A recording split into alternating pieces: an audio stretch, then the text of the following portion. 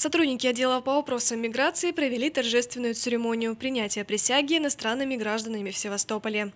Праздничное мероприятие состоялось в здании МВД России по Ленинскому району. Клятву быть добропорядочным гражданином Российской Федерации произнесли 8 человек.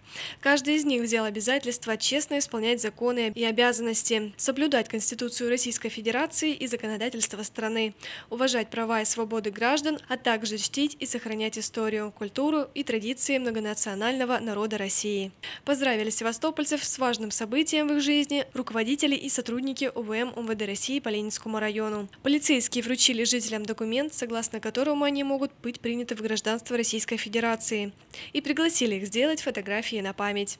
Также стражи порядка сообщили присутствующим, что в рамках федерального закона от 31 мая 2002 года номер 62 о гражданстве Российской Федерации процедура оформления гражданства будет предоставлена им в упрощенном порядке.